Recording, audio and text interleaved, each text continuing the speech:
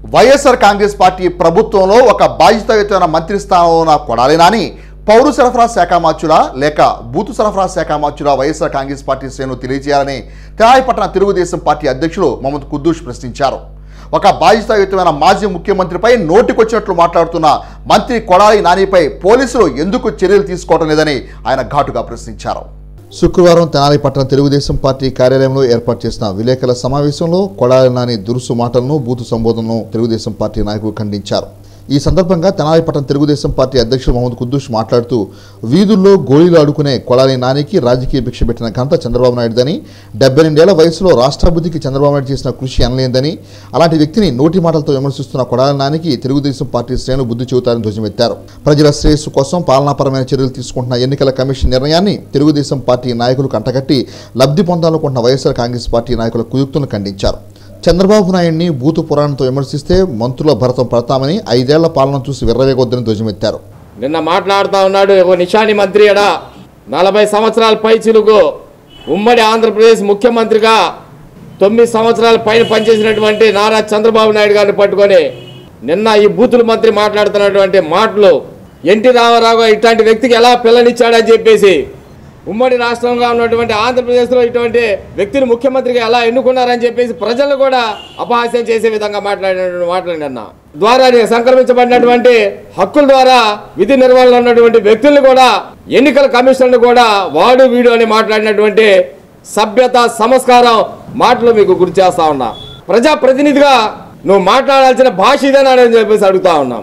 Corona కారణంగా ఆ రోజు ఎన్నికల కమిషనర్ దూరదృష్టిగా ఆలోచించి నష్టం జరిగింది ప్రజల ప్రాణాలకు నష్టం కలిగిద్దని చెప్పేసి ఆలోచన చేసి వాయిదా వేస్తే ఆ రోజు గుర్తుకొచ్చిందా చంద్రబాబు నాయుడు తొత్తు అని చెప్పేసి ఈ రోజు మాట్లాడుతున్నారు. గుంటూరు పార్లమెంట్ నియోజకవర్గ తెలుగుదేశం పార్టీ మహిళా అధ్యక్షురాలు అన్నాబత్తిన జయలక్ష్మి మాట్లాడుతూ ప్రజాప్రతినిధులు పాదయాత్ర చేస్తున్నారని అయితే వారు సాధించింది శూన్యమని ప్రజా సంక్షేమం పరిపాలన భ్రష్టుపెట్టాయని నాడు నేడు అంటూ ఆర్భాటాలు చేయడాన్ని తాము ఖండిస్తున్నామని అన్నారు. జగన్ రెడ్డి పరిపాలనలో రాక్షస పాలన జరుగుతుందని ఇసుక ఇవ్వకపోగా కార్మిక సంక్షేమం కుంటుపడుతుందని నిత్యావసర వస్తువుల ధరలు కరెంటు ఛార్జీలు రెండు వందలు పెంచిన ఘనత ఈ ప్రభుత్వాన్ని విమర్శించారు. ప్రస్తుతం పంచాయతీ ఎన్నికలు నిర్వహించి స్థానిక సంస్థలను బలోపేతం చేయాలని జయలక్ష్మి కోరారు. దళితులకు ఇన్నోవా కారును అందించి ఆత్మగౌరవాన్ని కల్పించిన గొప్ప నాయకుడు నారా చంద్రబాబు నాయుడుని అభివర్ణించారు. అసలు ఏమీ చేయలేక వాళ్ళ తప్పుని కప్పిపుచ్చుకోవటానికి ఎదుటి వాళ్ళ మీద బురద జల్లే ప్రయత్నం ఈ ప్రభుత్వం చేస్తుంది. అభివృద్ధి సంక్షేమం అనేది ఎక్కడా కనపడకుండా దాన్ని చేశామని చెప్పుకోవటానికి నాడు నేడు అనే కార్యక్రమాలు పెట్టారు. మేము వచ్చేసాం ఇచ్చేసాం అని చెప్పి కరోనాని వ్యాప్తి చెందించే విధంగా చేశారు తప్పితే మీరు చేసిన అభివృద్ధి లేదు సంక్షేమం లేదు చెప్పుకోవటానికి అక్కడ ఏమీ లేదు. నాడు విద్యుత్ ఛార్జీలు ఎలా ఉన్నాయి? నేడు ఎలా ఉన్నాయి? నాడు సరుకుల ధరలు ఎలా ఉన్నాయి? ఉల్లిపాయల ధరలు ఎలా ఉన్నాయి? నేడు ఎలా ఉన్నాయి?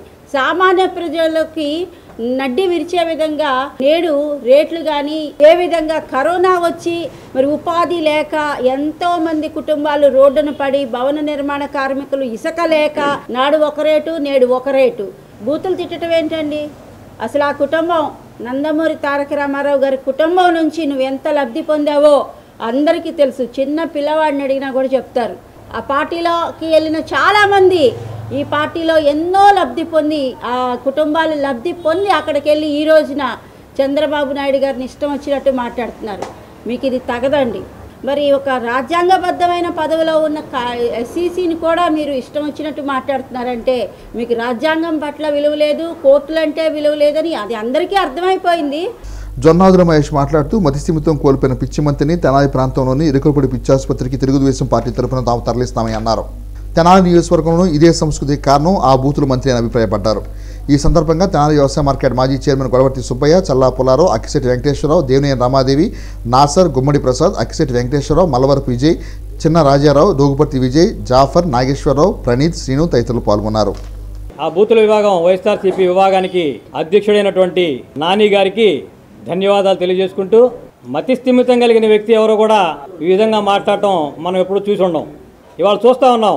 యథా రాజా తథా ప్రజ అనేది మనొక నానుడింది. మరి గతంలో ఒక పది ఇరవై రోజుల క్రితం నుంచి కూడా మనం చూసాం. తెనాలి నియోజకవర్గానికి ఈ సంస్కృతి ఎక్కడి నుంచి వచ్చిందని మనం ఆలోచించినట్లయితే ఆరిజన్ అది నియోజకవర్గాల వారీగా నూట డెబ్బై ఐదు నియోజకవర్గాల్లో కొంతమంది పిచ్చాలు తయారయ్యారు. మరి ఆ పిచ్చాలకే ప్రేరణ మీరేనేమని అని ఇప్పుడు మేము అనుకోవాల్సి వస్తుంది.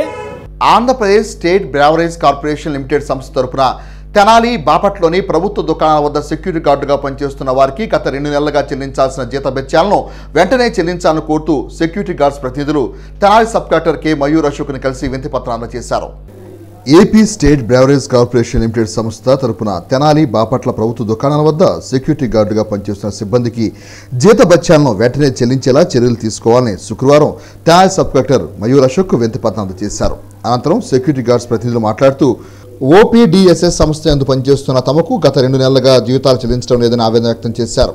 ఒక్కొక్క ఉద్యోగి సంస్థకు ఐదు వేల రూపాయలు డిపాజిట్ చెల్లించడం జరిగిందని తమకు రెండు నెలలుగా జీతపత్యాలు ఇవ్వటం లేదని ఆరోపించారు. కరోనా కాలంలో కూడా నిరంతరంగా విధులు నిర్వర్తించే తమకు న్యాయం చేయాలని తాము కోరినట్టు ఆయన పేర్కొన్నారు. కార్యక్రమంలో K. Mohan Rao B. Raj Kumar Sudheer A. Rakesh G. Narsireddy Raj Kumar తదితరులు పాల్గొన్నారు. గవర్నమెంట్ వైన్ షాపుల తరపున సెక్యూరిటీ గార్డుగా డ్యూటీలు చేస్తున్నాము. మాకు గత నాలుగు నెలలు అయినటువంటి క్రమంలో రెండు నెలలు జీతభత్యాలు ఆగిపోయినాయి. ఆ రెండు నెలలు జీతభత్యాల గురించి కలెక్టర్ గారికి వినతిపత్రం ఇచ్చాము. అదే బేవర్స్ కార్పొరేషన్ డివిజనల్ మేనేజర్ గారికి కూడా వినతిపత్రం ఇచ్చాము. తర్వాత లేబర్ ఆఫీసర్ గారికి కూడా వినతిపత్రం ఇచ్చారు. మీరు మాకు జీతభత్యాలు అందజేయవలసిందిగా ప్రార్థించుతున్నాం బాపట్ల టౌన్ మొత్తానికి మేము సెక్యూరిటీగా మేము పనిచేస్తున్నాం సార్. మొత్తం అక్కడ పదిహేను మంది దాకా చేస్తున్నాం సార్. అవును సార్. గవర్నమెంట్ వైన్ షాప్కి సెక్యూరిటీగా చేస్తున్నాను అండి. ఆగస్టులో ట్వంటీ డేస్ ఇరవై రోజులు శాలరీ మాకు సైకూర్ సంస్థ ఇవ్వలేదండి. మా చేత పని చేయించుకుంది. గత రెండు నెలలు సిఏ సిఎస్ఎస్ అనే సంస్థ చేసింది. అక్టోబర్లో మరలా ఈ యొక్క ఓపీడిఎస్ అనే సంస్థ తీసుకుంది. అక్టోబర్ నెల పూర్తయిపోయి మరలా ఈ నవంబర్ కూడా పూర్తి వస్తుంది అయినా సరే మాకు ఇంతవరకు శాలరీ లేదు. మేము చాలా ఇబ్బందులతో ఉన్నాము స్థానిక రజకపేట పార్కు నందు శుక్రవారం తెనాలి పురపాలక సంఘం ఆధ్వర్యంలో కోవిడ్ పరీక్షలు నిర్వహించారు. ఈ సందర్భంగా వైద్యాధికారి డాక్టర్ ఎస్ బాలప్రభావతి మాట్లాడుతూ కరోనా వైరస్ వ్యాప్తిని నిరోధించేందుకు ప్రజల సహకారం ఎంతో అవసరమన్నారు. ప్రతి ఒక్కరూ మాస్కులను ధరించాలని సామాజిక దూరం పాటించాలని సూచించారు. వృద్ధులు దీర్ఘకాలిక వ్యాధులతో బాధపడుతున్న వారు తప్పనిసరిగా కోవిడ్ పరీక్షలు చేయించుకోవాలన్నారు. కార్యక్రమంలో ఆరోగ్య విస్తరణాధికారి అందే బాలచంద్రమౌళి ఏఎన్ఎంలు స్వర్ణలత నాగమల్లేశ్వరి సుజాత నాగేంద్ర సాయిరాం మెప్మా హెచ్ఆర్పి భూలక్ష్మి రజని హరిలక్ష్మి సచివాలయ సిబ్బంది వాలంటీర్లు తదితరులు పాల్గొన్నారు. అసలు రజక చెరువు పార్కులో ఇవాళ చేస్తున్నామండి కరోనా ఉధృతి కొంచెం తగ్గినా కూడా దానికి సంబంధించి నిర్లక్ష్యం మాత్రం వద్దు. కేర్ఫుల్గా ఉండాలి అప్రమత్తంగా ఉండండి. మాస్క్ వేసుకోవడం శానిటైజ్ చేసుకోవడం కంపల్సరీ డిస్టెన్స్ మెయింటైన్ చేసుకోండి. ఉధృతి తగ్గింది కదా అని క్రౌడ్ ఏరియాస్లోకి వెళ్ళడాలు మాస్కులు లేకుండా తిరగడాలు చేయకండి. తెనాలి జిల్లా ప్రభుత్వ వైద్యశాలలోని కోవిడ్ కేర్ విభాగంలో అందిస్తున్న వైద్య సేవల వివరాలను తెనాలి జిల్లా ప్రభుత్వ వైద్యశాల సూపరింటెండెంట్ డాక్టర్ సనత్ కుమారి శుక్రవారం హెల్త్ బులెటిన్ విడుదల చేశారు. ఆ హెల్త్ బులెటిన్ వివరాలు ఈ విధంగా ఉన్నాయి. తెనాలో నమోదైన పాజిటివ్ కేసులు నాలుగు కాగా దుగ్గిరాల పిఎస్సి పరిధిలో ఒకటి ఈమని పిఎస్సి పరిధిలో ఒకటి పెరవలి పిఎస్సి పరిధిలో ఐదు కొల్లూరు పిఎస్సి పరిధిలో మూడు మోపరు పిఎస్సి పరిధిలో ఒకటి ఇంటూరు పిఎస్సి పరిధిలో ఒకటి చొప్పున పాజిటివ్ కేసులు నమోదయ్యాయి. తెనాలి జిల్లా ప్రభుత్వ వైద్యశాలలో నూట నలభై మూడు కోవిడ్ బెడ్లు ఖాళీగా ఉన్నాయి. కోవిడ్ పాజిటివ్ వ్యక్తులు వైద్యశాలకు రావడం తగ్గుముఖం పట్టడంతో కోవిడ్ బెడ్లు ఖాళీ అవుతున్నాయని జిల్లా ప్రభుత్వ వైద్యశాల కోవిడ్ విభాగం అధికారులు తెలిపారు. ప్రస్తుతం శుక్రవారం విడుదల చేసిన హెల్త్ బుట్టిన వివరాల ప్రకారం డెబ్బై ఏడు మంది పాజిటివ్ వ్యక్తులు చికిత్స పొందుతుండగా ఏడుగురు పాజిటివ్ వ్యక్తులు చికిత్సకు హాజరయ్యారు. పదకొండు మంది పాజిటివ్ వ్యక్తులు నెగిటివ్ రావడంతో డిశ్చార్జ్ అయినట్లు వైద్యశాఖ అధికారులు తెలియజేశారు. పవిత్ర కార్తీక మాసాన్ని పురస్కరించుకుని హెచ్సివి నిర్వహిస్తున్న మన ఆలయం కార్యక్రమంలో భాగంగా శుక్రవారం కార్తీక మాస ప్రాముఖ్యత గురించి ఆధ్యాత్మిక ప్రవచనకర్త శ్రీ నోరి కోదండరాం ప్రేక్షకులకు వివరించారు. కార్తీక మాసంలోని ఏకాదశి పర్వదినం గురించి దీపారాధన విశిష్టత గురించి తదితర అంశాల గురించి ఆయన సవివరంగా వివరించారు. హెచ్సివి ప్రేక్షకులు నమస్కారం. పవిత్ర కార్తీక మాసాన్ని పురస్కరించుకుని హెచ్సివి తెనాలి మన ఆలయం కార్యక్రమాన్ని రూపొందించింది. దానిలో భాగంగా కార్తీక మాసంలో వచ్చే పర్వదినాల గురించి మరికొన్ని ఆధ్యాత్మిక విషయాల గురించి పట్టణానికి చెందినటువంటి ప్రముఖ ఆధ్యాత్మిక ప్రవచనకర్త శ్రీ నోరి కోదండరామ్ చేత తెలుసుకుందాం. నమస్కారం అండి. మాసాల్లోకెల్లా అతి పవిత్రమైన మాసంగా కార్తీక మాసాన్ని చెప్తూ ఉంటారు పండితులందరూ కూడా. దాని యొక్క వైశిష్టాన్ని మా ప్రేక్షకులకు అందించవలసిన కోరుతున్నాం. ఓం నమ ప్రణవార్ధాయ శుద్ధజ్ఞానైకమూర్తయే. నిర్మలాయ ప్రశాంతాయ దక్షిణామూర్తయే నమ. పద్దెనిమిది పురాణములలో మనం వెతికినట్లయితే కార్తీక మాస వైశిష్ట్యమును నారద మహర్షికి చతుర్ముఖ బ్రహ్మ తెలియచేశారు. నారద మహర్షి ఒకానొక సమయంలో చతుర్ముఖ బ్రహ్మని ప్రశ్నించారు. మాసానాం ప్రవరో మాస అన్ని మాసములలో ఉత్తమోత్తమమైనటువంటి మాసము ఏది? మానవులు చేసేటటువంటి ఘోరమైనటువంటి పాపములు సంచిత పాపములు ఆగామి పాపములు ప్రారబ్ధ పాపములు ఇటువంటి పాపములన్నీ కూడా ఎలా దగ్ధమయ్యేది అని నారద మహర్షి చతుర్ముఖ బ్రహ్మని అడిగితే బ్రహ్మదేవుడు తెలియచేశారు. నాలుగు వేదములని నిరంతరము పఠించేటటువంటి బ్రహ్మదేవుడు కార్తీక మాస వైశిష్ట్యమును ఇలా తెలియచేశారు. మాసములన్నిటిలో కూడా కార్తీక మాసము శ్రేష్టమైనది. దేవతలందరిలో కూడా నారాయణుడు ఉత్తమోత్తమమైనటువంటి వాడు. సకల మాసములలో ఉత్తమమైనటువంటి మాసము అన్ని పుణ్యములలో పరమ పుణ్యమైనటువంటి మాసము పావనములన్నిటిలో కూడా పరమపావనమైనటువంటిది కార్తీక మాసము. న కార్తీక సమోమాస న కాలహ కార్తీకా సమహ. కాలములన్నిటిలో కూడా కార్తీక మాసముతో సమానమైనటువంటి కాలము లేదు. మాసములన్నిటిలో కూడా ద్వాదశానాంతు మాసానాం పన్నెండు మాసములు ఉన్నాయి. మార్గశిర మాసం పుణ్యమైనది అంటాం. మాఘమాసము పుణ్యమైనది అంటాం. వైశాఖ మాసం పుణ్యమైనది అంటాం. మరి వీటన్నిటిలో కూడా గొప్పది ఏ విధంగా కార్తీక మాసము వీటన్నిటిలో గొప్పదైనది? అంటే అప్పుడు బ్రహ్మదేవుడు తెలియచేశారు. ద్వాదశానాంతు మాసానాం మహాఫల ప్రోక్త కార్తీక మాస మహాఫలమును అత్యంత ఫలమును చేకూర్చేటటువంటిది మార్గశిరము కన్నా వైశాఖ మాసము కన్నా మాఘమాసము కన్నా కార్తీక మాసం అని ఇలాంటి ప్రశ్నే సూర్యభగవానుడి యొక్క శిష్యుడైనటువంటి అనూరవుడు కూడా అనుమానం వచ్చింది. అప్పుడు కూడా సూర్యభగవానుడు తెలియచేశారు పన్నెండు మాసములలో కార్తీక మాసము శ్రేష్టమైనది అని సూర్యభగవానుడు అనుగురవు చతుర్విధ ఫలములను గూర్చి ధర్మము అర్థము కామ్యము మోక్షము అనబడేటటువంటి చతుర్విధ ఫలములను గూర్చి మనమందరం కూడా తప్పించి నోములు వ్రతాలు పూజలు అభిషేకాలు యజ్ఞయాగాది క్రతువులు ఆలయ ప్రతిష్టలు ఇలాంటి వైదిక క్రతువులన్నీ చేస్తూ ఉంటామో? అవన్నీ కార్తీక మాసమునందు. నా కార్తీక సమం ధర్మం కార్తీక మాసము మించినటువంటి ధర్మము లేదు. నా కార్తీక అర్ధమ్యో కార్తీకాత్పరం. అర్థము కావాలన్నా బాగా ధనం కావాలి అన్నా కూడా కార్తీక మాసమే గొప్పదైనటువంటి మన యొక్క కోరికలన్నీ కూడా నెరవేరాలి. పుణ్యమైనటువంటి సంతానం కళ్యాణం అవ్వాలి సంతానం అవ్వాలి మోక్షం కావాలి అన్నా అటువంటి కామ్యములను నెరవేర్చేది కార్తీక మాసము. అటువంటి మోక్షమును ప్రసాదించేది కార్తీక మాసం అని తెలియచేసి నా కార్తీక సమం ధర్మం అర్ధమ్యో కార్తీకాత్పరం నా కార్తీక సమం కామ్యం మోక్షదానం కార్తీకాత్. ఇటువంటి ధర్మమును గూర్చి ధర్మరాజు ఈ కార్తీక మాసమును ఆచరించు అర్ధమును గూర్చి ధ్రువుడు ఈ కార్తీక మాసమును ఆచరించు కామ్యముల కోసం శ్రీకృష్ణ పరమాత్మ ఈ కార్తీక మాసమును ఆచరించు మోక్షము కొరకు నారద మహర్షి కార్తీక మాసమును ఆచరించారు కనుక సర్వోత్తమమైనటువంటి మాసం కార్తీక మాసముగా పురాణములన్నీ కూడా వర్ణింపబడినది.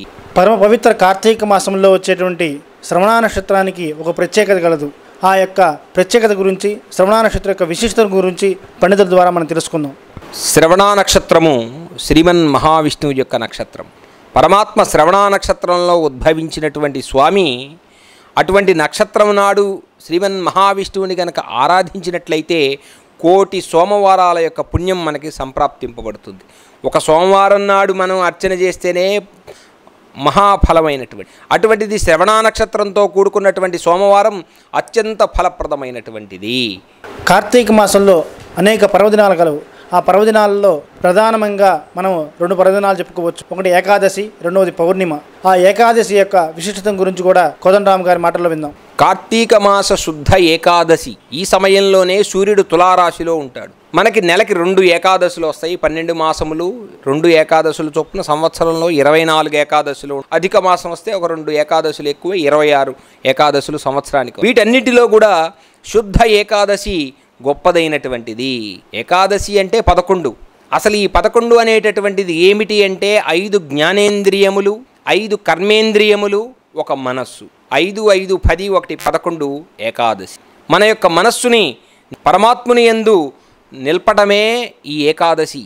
శ్రీమన్ మహావిష్ణువుకి ప్రీతికరమైనటువంటి ఏకాదశి నాడు మనస్సుతో జ్ఞానముతో మన యొక్క జ్ఞానేంద్రియములని కర్మేంద్రియములని మన మనస్సుని ఆ మహావిష్ణువు యొక్క పాదముల ఉంచి పరమాత్మని అర్చించినటువంటి భక్తులకి పునరపి జననం పునరపి మరణం.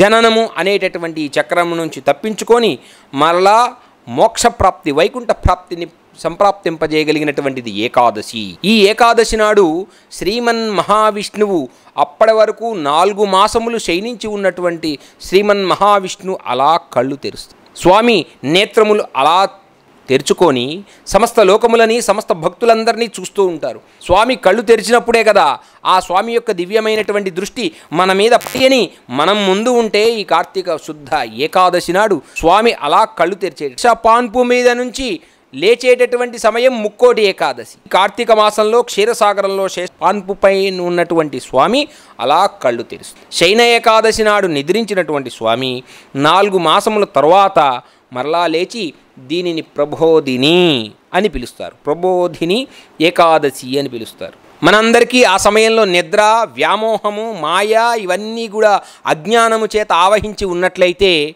ఆ పరంధాముని దర్శించదు పుణ్యప్రదమైనటువంటి కార్తీక శుద్ధ ఏకాదశి నాడు జ్ఞానేంద్రియములతోనూ కర్మేంద్రియములతోనూ మనస్సుతోనూ వీటన్నిటితో పరమాత్మని ఆరాధన చేసి ఎలా చేయాలి? ఏకాదశి ముందు రోజు ఉన్నటువంటి దశమి సాయంకాలం నాడు ఉపాహారులై నిరాహారులై ఉపాహారం స్వీకరించి నిరాహారులైతే ఇంకా మంచిది. ఏకాదశి మొత్తము నిరాహారంగా ఉండి ఆహారం తీసుకోకుండా కేవలము జలము మాత్రమే మంచినీళ్ళు ఏదైనా తాగి అలాగా తదుపరి ద్వాదశి వస్తుంది కదా ఆ ద్వాదశి నాడు ద్వాదశి తిథి ముగిసేలోపు పారణము చేయవలి భోజనం చేయాలి.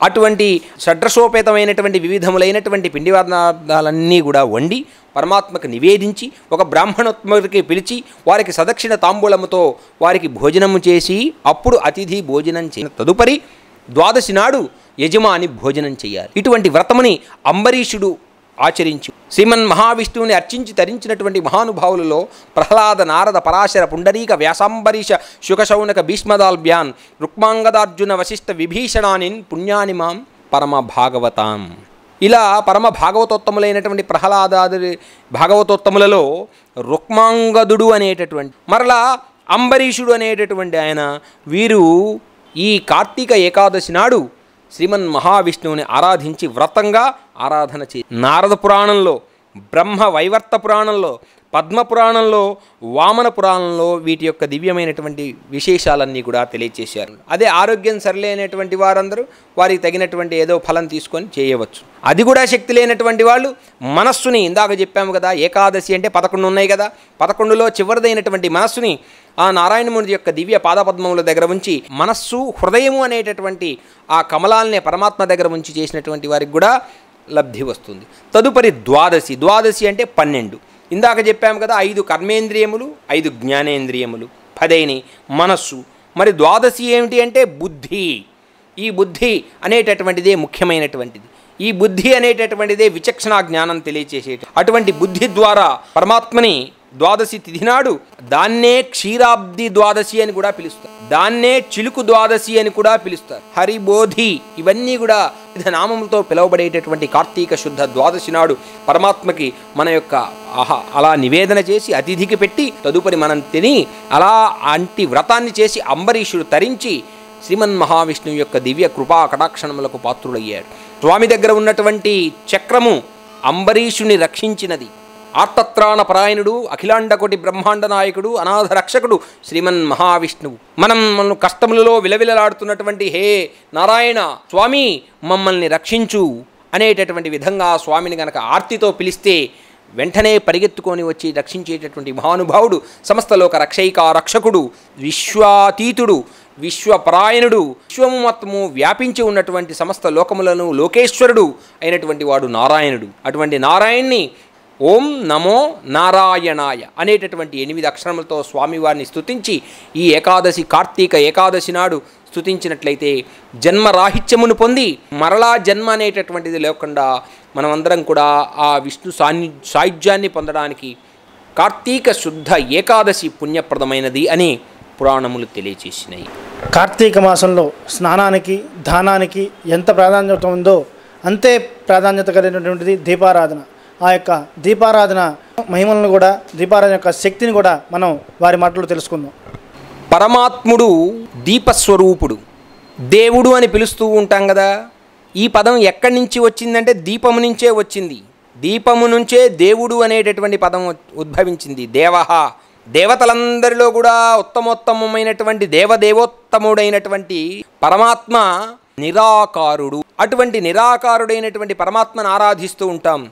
ఏ ఏ భక్తుడు ఏ ఏ కోరికలతో పరమాత్మని ఏ రూపంలో ఆరాధన చేస్తే ఆ రూపంలో కనబడేటటువంటి వాడు పరమాత్మని యొక్క తత్వము అని మనకి వేదాంత తత్వము ద్వారా తెలియపడుతూ ఉంటుంది. అటువంటి పరమాత్మ ఈ సర్వాంతర్యామి ప్రకృతి ఎందు ఉన్నాడు. పృథివీ ఆప తేజో వాయు ఆకాశములు అనబడేటటువంటి ఐదు తత్వములతో ప్రకాశించేవాడు పరమాత్మ. ఇందులో మూడవది తేజ మొదటిది పృథివీ అంటే భూమి.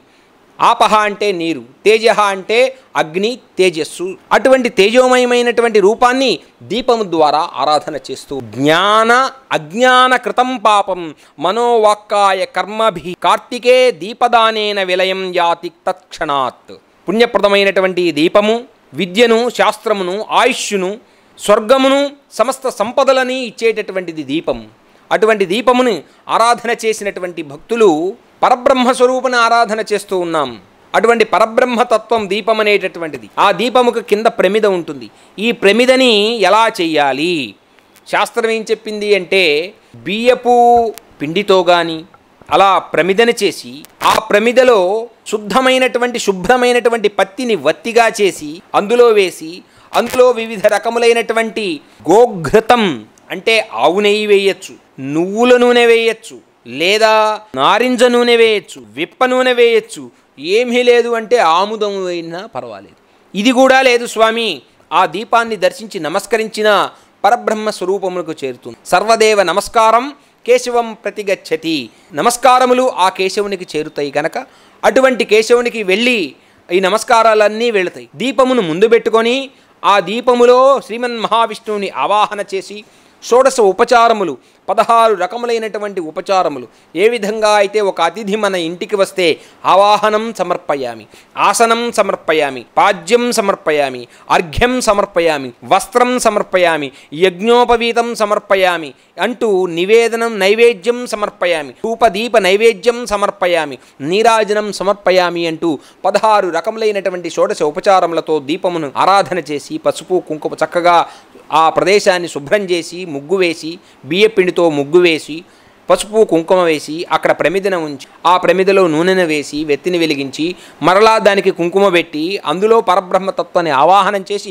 షోడశ ఉపచారములతో పూజ చేసి దానికి ఆరాధించినటువంటి విధానం ఏ విధానమైతే శాస్త్రోక్తమైనటువంటి వైదిక పద్ధతి అదే ఒక యజ్ఞముతో సమానమైనటువంటిది. అదే ఒక శతక్రతువులు అనేక రకములైనటువంటి యజ్ఞములతో చేసిన ఫలితం ఆ దీపాన్ని కార్తీక మాసంలో ఆరాధించడం ద్వారా లభ్యమవుతుందని మనకి పురాణముల ఎందు వేదముల ఎందు పరమాత్మని ఆరాధన చేసే విధానంగా తెలియచే అటువంటి దీపారాధన చేసి అదే దీపాన్ని దానం చేసి దీపదానం చేసిన పుణ్యం దీపారాధన చేసినా పుణ్యం. ఆ దీపారాధన చూసి నమస్కారం చేసినా ఏది చెయ్యాలి అంటే అది మీ శక్త్యానుసారము. నా దగ్గర కోటి రూపాయలు ఉన్నాయి కదా అని దర్పంగా అన్నీ ప్రదర్శన చేసి అందులో భక్తి లేకపోతే అది పరమాత్మ స్వీకరించడు. స్వామి నా దగ్గర మట్టి ప్రమిదే ఉన్నది. ఇది ఒక్కటే సభక్తికంగా సమర్పిస్తాను అంటే పరమాత్మ నిండుగా తీసు పరమాత్మకి కావాల్సినటువంటి అనన్యమైనటువంటి భక్తి. నీవే తప్ప ఇతఃపరం బెరగవే మన్నింపవే దీనిని స్వామి ఈ లోకములో అనేకమైనటువంటి పాపములు చేశాం. పుడుతూనే కొన్ని పాపాలు మూటగట్టుకొని వచ్చాం. అసలు మానవ జన్మ వచ్చిందంటేనే ఏదో పాపం చేయబట్టే మనకి ఈ జన్మ వచ్చి తదుపరి అలాగే ఈ మానవ జన్మ సార్థకత అవ్వాలి. ఈ సరే సార్థకత అవ్వాలి అంటే ఈ విలాసాల్లో తేలియాడుతూ ఈ కలి ప్రభావం చేత శని ప్రభావం చేత గ్రహగతులు సరిగ్గా లేకపోవటం చేత మానవుడు కొన్ని పాపకర్మలను ఆచరిస్తూ అసలే మనకిప్పుడు శనితో కూడుకున్నటువంటి గురువు ఇప్పుడు మనకి రాబోతూ ఉన్నటువంటి కాలం. ఈ కాలములో ఇంకా పాపకర్మలు చేస్తూ ఈ పాపకర్మలన్నీ సంచితమైనటువంటి పాపములు. అంటే సంచిలో మనం తెచ్చుకునేటటువంటి పాపాలు ఈ ఈ జన్మలో సంచిలో ఉన్నటువంటి పాపాలు మనం కూడగట్టుకున్నవి మన స్వయంకృత అపరాధముతో.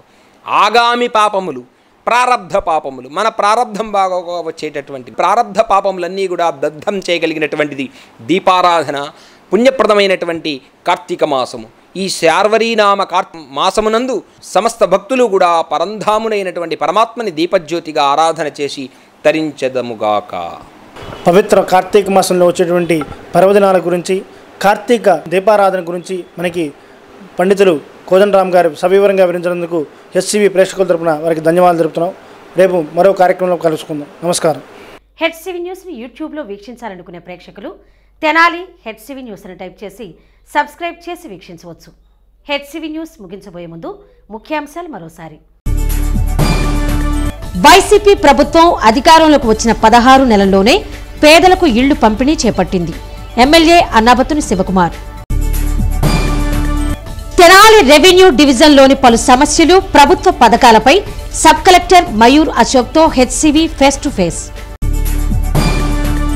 market yard అభివృద్ధికి ఆదాయ వనరుల పెంపుదలకు చర్యలు. శాసనసభ్యులు అన్నాబత్తుని శివకుమార్. హెచ్సివి న్యూస్ ఇంతటితో సమాప్తం. నమస్కారం.